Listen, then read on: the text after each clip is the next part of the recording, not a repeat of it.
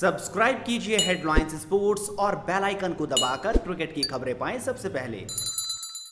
भारत और श्रीलंका के बीच दूसरे वनडे मैच में टीम इंडिया ने श्रीलंका को तीन सौ तिरानवे रनों की चुनौती दी। लिहाजा श्रीलंका भारतीय टीम के सामने नहीं टिक पाई और बुरी तरीके से इस मैच को गंवा बैठी।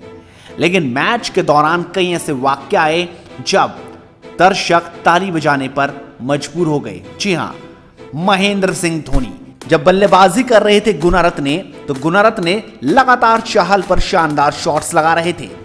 एक शॉट्स वो आगे बढ़कर लगाना चाहते थे, लेकिन महेंद्र सिंह धोनी ने गुनारत्ने के स्टंप बिखेर दिए।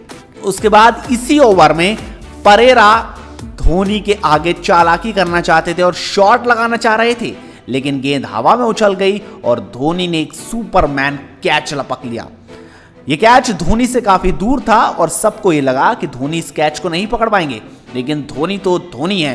धोनी ने ड्राइव लगाकर कैच को अपने दस्तानों में फंसा लिया और परेरा को पवेलियन जाने पर मजबूर कर दिया। हालाँकि जब धोनी ने कैच पकड़ा तो उनकी कोहनी में हल्की सी चोट भी लग गई थी और कोहनी छिलने के कारण उन्हें दर्द महसूस भी हुआ। लेकिन धोनी अपने काम से बिल्कुल हटने वाले नहीं थे और धोनी ने शानदार कैच पकड़कर दिखा दिया कि उनमें कितना दम बाकी है।